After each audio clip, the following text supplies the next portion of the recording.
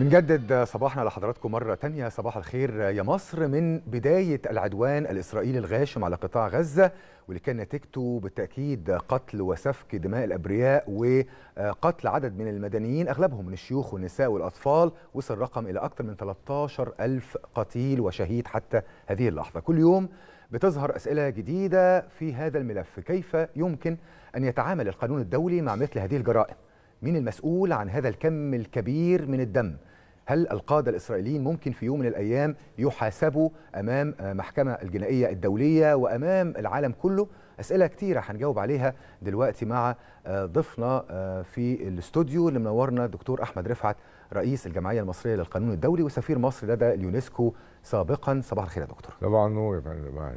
أهلا بحضرتك أهلا بيك. يعني كل يوم على مدار أكثر من 47 يوم جرائم بترتكب جرائم حرب بترتكب والكيان الإسرائيلي لا يهتم بأي شكل من الأشكال بكم الإدانات اللي بتصدر بحقه. عايز أعرف من حضرتك يا فندم يعني حتى الآن كيف يرى القانون الدولي هذه الجرائم الجرائم اللي بترتكبها إسرائيل في حق المدنيين في قطاع غزة؟ الحقيقة إنه يعني التعريفات اللي حصلت من قبل السياسيين والغربيين والولايات المتحدة الأمريكية لما يحدث في غزة كانت خاطئة 100% من وجهة نظر القانون الدولي. اولا حماس حركة تحرر وطني وانطلقت من غزة اللي هي جزء من فلسطين لمقاومة الاحتلال اللي هو إسرائيل. وبالتالي هي حركة تحرر وطني وليست منظمة إرهابية. هذا اولا. نمرة اثنين حركات التحرر الوطني مشار إليها وموجودة في ميثاق الأمم المتحدة في المادة واحد فقره اثنين وفي المادة 55 علاوه على ذلك إنه تعريف العدوان الذي صدر سنة 74 من الجمعية العامة للأمم المتحدة في المادة السابعة اتكلم على حركات التحرر الوطني. وقال إن كل ما تقوم به من كفاح مسلح لا يندرج في القائمة التي كانت موجودة في هذا التعريف اللي هي بتجرم العدوان. ف أن تكون منظمة التحرر الوطني معتيه ده غير موجود في القانون الدولي. هي منظمة بتحرر أرضها وأعمالها مشروعة. لها دورين. الدور إنها تحرر أرضها من خلال التفاوض السلمي والدور الثاني هو إذا فشلت هذه الجهود فلها الحق في الكفاح المسلح لتحرير أرضها. وهذا الكفاح المسلح وفقا لقواعد القانون الدولي مشروع. طيب يبقى الطرف الثاني بقى اللي هو المحتل. رد فعله لا يمكن أن يوصف كما وصف وصفته أمريكا والدول الغربية أنه دفاع عن النفس. ليس هناك دفاع عن النفس لمحتل في مواجهة حركات تحرر وطني تريد أن تحرر وطنها. فكلمة إنه الولايات المتحدة الأمريكية بتدافع عن نفسها خطأ وفقا للقانون الدولي. ما فعلته منظمة حماس ليس ارهابا على الإطلاق وإنما هو جزء من ما خوله إليها القانون الدولي بأنها تكافح من أجل تقرير المصير وكفاحها هنا مشروع ورد فعل من الجهة جهة الاحتلال يعتبر عمل غير مشروع. طب ده كلام جميل ورائع جدا كنصوص للقانون الدولي إن دي حركة مقاومة مسلحة ولها الحق في تحديد المصير والكفاح لاسترداد الأرض، لكن عمليا لا يعتد بذلك دكتور أحمد، يعني القوى الكبرى الولايات المتحدة، بريطانيا، فرنسا، ألمانيا بتصنف حركة المقاومة دي بأنها منظمة إرهابية. المعضلة القانونية دي إزاي يمكن حلها؟ يعني طبعا كون إنها بتصنف الحركه إنها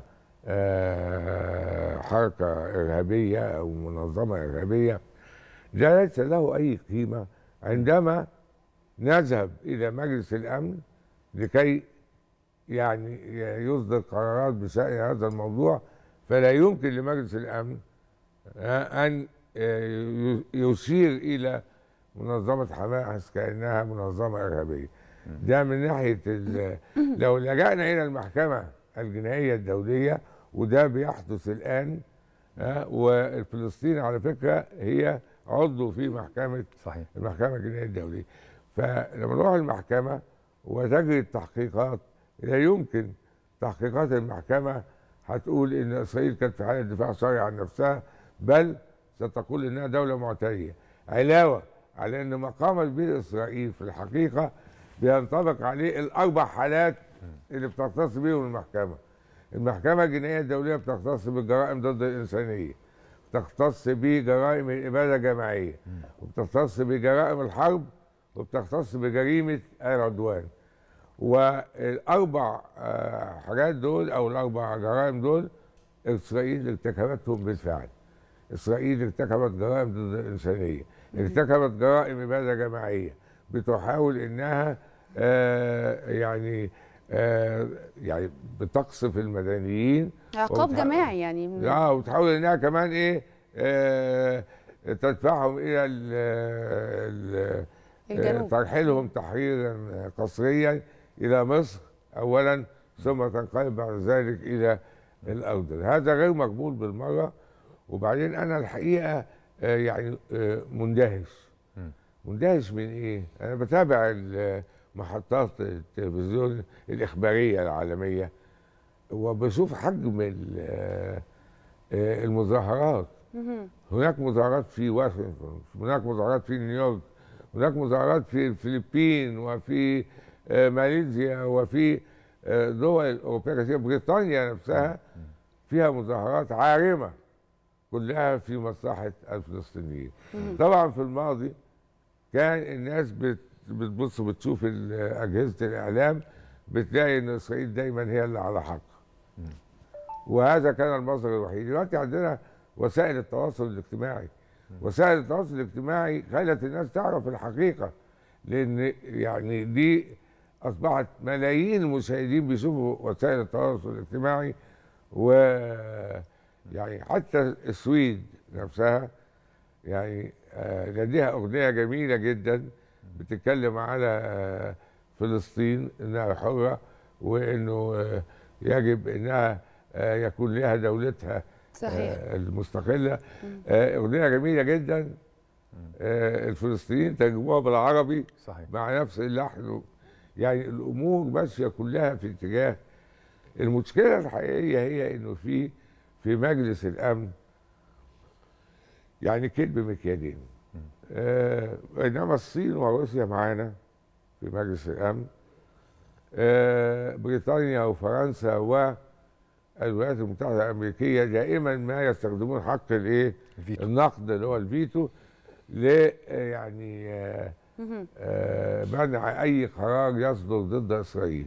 صحيح. طيب. أو حتى قرار بوقف إطلاق النار. بس دكتور طيب خلينا نعود خطوة للوراء. يعني لو اتكلمنا على آه، حتى آه، نظام روما. فإسرائيل بالفعل بترتكب حتى جرائم حرب و و وعلى- يعني وعليها إدانات من قبل الاعتداء الغاشم على قطاع غزة. وإحنا بنتكلم حتى على آه، سرقة الأراضي وبناء المستوطنات وإلحاق الأذى آه، آه، بالمنشآت وحتى آه، آه، آه، اعتقال ال- المدنيين والاعتداء عليهم وما إلى ذلك. وحتى الآن لم نرى أي إدانة أو حتى تصرف قانوني. آه، أنا أنا الحقيقة يعني عايز أقول لكم إزاي الموضوع بيصل إلى المحكمة. اتفضل. الموضوع موضوع ال- الاباده الجماعية والتهجير القسري وكل ده دي جرائم ارتكبتها اسرائيل بالفعل.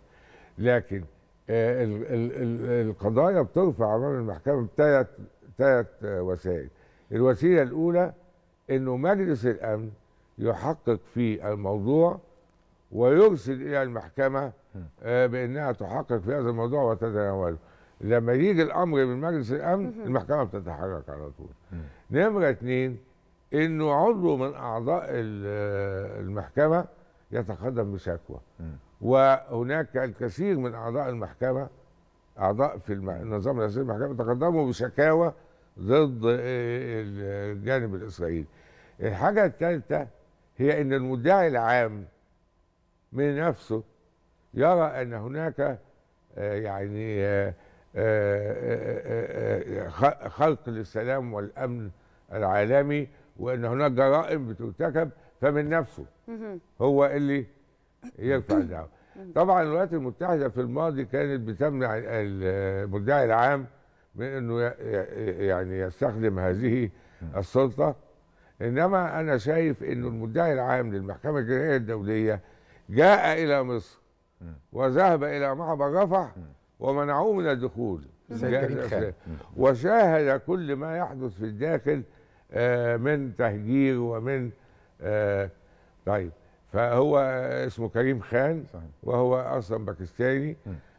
حصل على الجنسية البريطانية ولكنه يعني مسلم ويعي آه، ما يتعرض له الفلسطينيين من قهر و- وإرهاب و... فأنا بعتقد إنه آه، الحل اللي قدامنا وده يمكن ما حدش اتعرض له خالص مع إنه حل مهم جدا هو أن نلجأ إلى ما يسمى بالاتحاد من أجل السلم. إيه الاتحاد من أجل السلم ده؟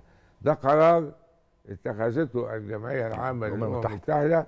سنة آه، آه، 50 أعتقد في الحرب الكورية. آه، روسيا كانت آه، لم تحضر اجتماعات المجلس فهم انتهزوا فرصة عدم وجود روسيا وطلعوا هذا القرار. هذا القرار بيعني إن لو في breach to the peace و threat to the peace أو act of aggression فيبقى هنا في الحالة دي لازم المجلس يتصدى لهذا الموضوع. لكن إذا فشل المجلس في التصدي لهذا الموضوع ولم يستطع إنه يتخذ قرار بسبب حق الفيتو.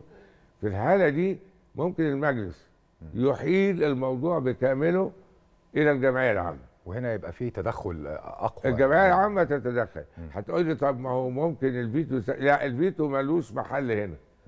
يعني إحالة الموضوع من مجلس الأمن إلى الجمعية العامة بيتم بموجب مين تسع المنوط بيه إنه آه إنه يجعل. يعني مجلس الأمن يحيله ل- يحيلوا الجمعية العامة. الجمعية العامة. نظرا فشلوا في اتخاذ مين. اللي يقدر يتخذ هذا القرار؟ آه، ما- آه، أعضاء مجلس الأمن.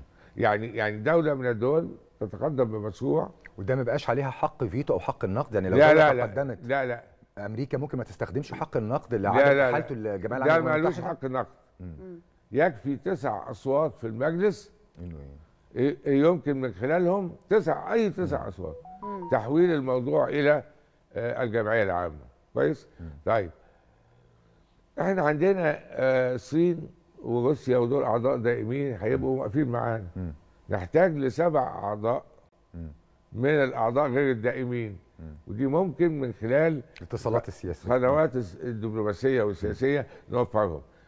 إذا تحول الأمر من الجمعية العامة من مجلس الأمن إلى الجمعية العامة في هذه الحالة تقوم الجمعية العامة وبرئيسها أو رئيس ال- المنظمة اللي هو الامين العام للمنظمة المتحدة باتخاذ نفس الإجراءات التي ممكن أن يتخذها مجلس الأمن. يعني ممكن تشكل جيش جميل. وممكن تشكل قوات طوارئ وت- وتتصرف كأنها مجلس الأمن. تمام. ده, ده مسار قانوني اتفضل يا فندم. أيوة، وبعدين؟